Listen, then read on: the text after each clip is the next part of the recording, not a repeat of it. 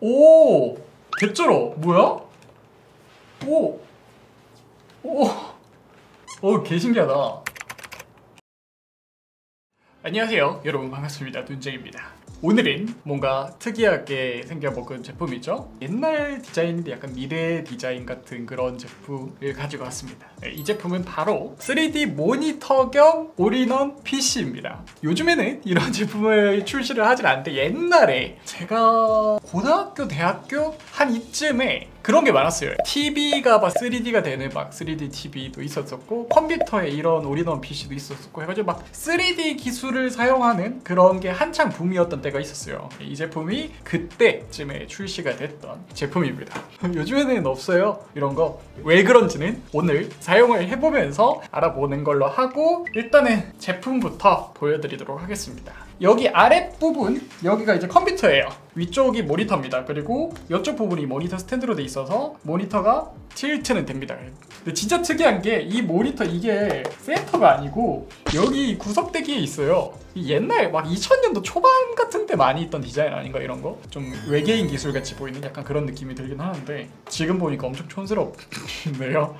아무튼 일단 디스플레이는 눈으로 대충 봤을 때는 32인치 제품인 것 같은데 대충 크다. 대충 제 얼굴하고 비교를 해보세요. 이 정도 크기입니다. 밑에 본체 부분을 뒤편에 본체 부분 뒤편에는 HDMI in 포트 특이하게 HDMI in 포트가 있습니다. 컴퓨터에는 HDMI in 포트가 없죠. 왜냐면 모니터랑 컴퓨터랑 따로 쓰니까. 일체형인데 컴퓨터를 쓰지 않고 이 모니터를 TV 겸용으로 쓸 수 있게 HDMI in 포트가 달려 있고요. HDMI 아웃 포트 있고 USB 3.0 포트 2개 2.0 포트 2개 전원 포트 그리고 랜 포트 그리고 안테나 포트가 있습니다. TV 겸으로 쓰는 제품이기 때문에. 아, USB 2.0이 여기 왼쪽에도 두개 있는데요. 그리고 SD카드 슬롯이 있고 3.5파이 헤드폰 마이크 슬롯이 있습니다. 그 반대쪽에는 디스크가 있네요. CD도 넣을 수 있는 제품인가 봅니다.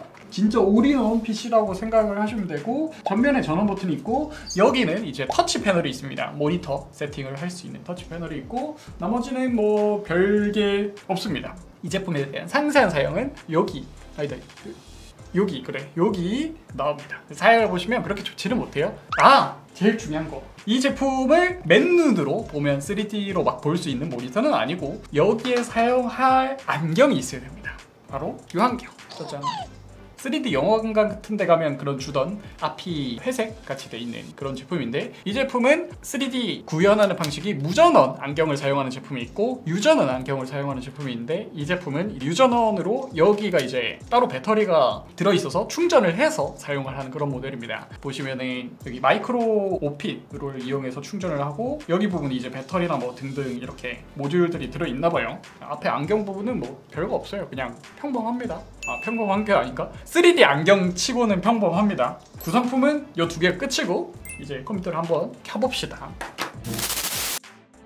이게 보니까 모니터에 기본적으로 2D를 3D로 바꿔주는 그런 기능들도 있더라고요. 근데 이제 그런 걸 사용하는 것보다는 공식적으로 지원을 하는 컨텐츠를 즐기는 게 가장 깔끔하게 잘 보이겠죠? 그래서 지원을 하는 게임인 레포데 완전 저사양 게임이죠 어 일단 렉이 오져요. 프레임 엄청 떨어지는데. 일단 맨눈으로 봤을 때는 3D로 전혀 보이지 않습니다. 그냥 사람들이 상이 두 개로 있고 멀리 있으면 그 상이 좀 더 멀리 있고 가까이 있으면 그 상이 좀 더 이렇게 겹쳐지는. 그거 가지고 구현을 하는 거겠죠? 오! 개쩔어! 뭐야? 오! 오, 오 개 신기하다. 영화관 가면은 3D 안경 쓰고 영화 보다 보면 그 느껴지는 거 있잖아요 막 자막 위로 막 캐릭터가 막 이렇게 막 튀어나오고 하는 그런 느낌? 근데 지금 약간 무슨 느낌이냐면 이렇게 움직일 때마다 약간 그 거울이 있고 거울 반대편에 실제 세계가 있는 느낌? 그리고 원근감이 있어요. 기본 캐릭터 있는 얘들 창문에 딱 붙어있는 느낌이고 약간 그거죠. 교도소 면회실 같은 느낌이 있죠. 그 면회실을 두고 뒤편의 세상과 이 세상은 다른 세상. 그 유리창에 이렇게 UI 스티커가 붙어있는 거고 반대편에 움직이는 사람들이 이제 원근감이 있게 느껴지는 거죠 어 근데 어우 멀미 나는데? 그러니까 원근감이 실제 같은 원근감이라기보다는 그냥 좀 과장된 느낌이 강해요. 어 근데 멀미가 오진다. 이게 프레임이 지금 떨어지는 상태로 3D까지 같이 했으니까 더 그런 것 같은데. 어, 어우 그렇구나. 아, 일단 레포대는 여기까지. 그 유튜브 영상 같은 경우를 그냥 들어가가지고 그걸 이제 2D에서 3D 모드로 모니터에 옵션을 추가를 한 다음에 보면은 이게 3D로 보이는지 그게 굉장히 궁금하네요. 메뉴에 3D 모드를 2D에서 3D 모드. 오, 오 일반적인 화면에서도 3D로 바뀌거든요. 아까 그 게임만치 그런 느낌은 아니긴 한데 계산을 해서 만드는 건가 봐요. 강제로. 어, 약간 부자연스러운 원근감 느낌이긴 한데 느껴지긴 하는데 뭔가 이질적인 느낌. 어 근데 멀미 나. 아우 토 나와. 그리고 신기한 거 이 친구가 디스플레이가 60Hz 디스플레이가 아니고 120Hz 디스플레이야. 이때 그냥 일반적인 이런 데다가 120Hz를 구현을 할 생각을 한거 자체가 신기하네요. 이게 그것 때문일 것 같아요. 그 이 영상 자체를 최대한 부드럽게 해서 멀미를 덜 하게 하려면은 주사율이 높은 제품을 사용하는 게 맞을 테니까 그래서 그런 것 같은데 일단 디스플레이가 120Hz 디스플레이입니다. 근데 약간 마우스를 했을 때 응답 속도는 살짝 좀 느린 느낌? input lag은 살짝 좀 있는 느낌이긴 해요. 잠깐 써봤는데 이게 3D 제품이 나오고 사장이 굉장히 좀 빨리 됐어요. 한 1, 2년 나왔었나? 그 이유가 일단은 불편해요. 거추장스럽습니다. 굳이 안경을 추가로 써야 된다는 거. 무전원 제품이라면 그나마 그래도 낫긴 하지만 이런 유전원 제품 같은 경우에 뭐 여기 배터리도 따로 관리를 해줘야 되고 그런 불편함들도 있는 데다가 컨텐츠의 부재도 있을 거고 그리고 생각보다 그렇게 막 드라마틱한 느낌이 좀 적다. 그러니까 이걸 굳이 이렇게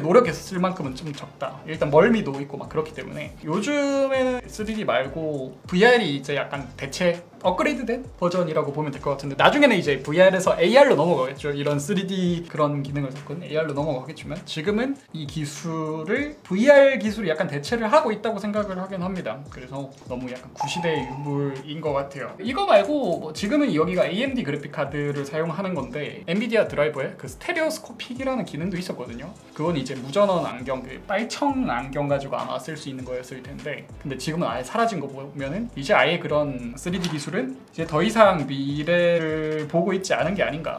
아, 제일 중요한 거 말을 안 했네. 가격. 그때 당시 기준으로 최소가가 한 150 정도 했다고 하는데 근데 150이면 솔직히 그렇게 나쁘지 않긴 해요. FHD 120Hz 디스플레이 그 당시 기준 32인치 거기에 올인원으로 사용할 수 있는 나머지 윈도우 포함 시스템들 다 포함을 하면은 생각보다 그렇게 비싸진 않죠? 의외로 가성비는 괜찮지 않나? 아 그 당시 기준 150이면 비싸구나 지금 현금 기준 150에 이 정도의 제품을 그 당시에 구할 수 있었다고 하면 괜찮지만 그 당시 기준 150이면 10년 전이면 되게 비쌌네요 결론 왜 망했는지 알 것 같습니다.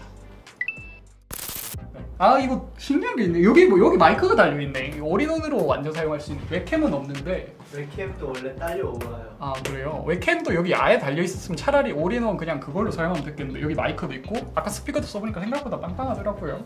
그냥 3D를 빼고 가격을 좀더 줄여서 팔았으면 차라리 낫지 않았을까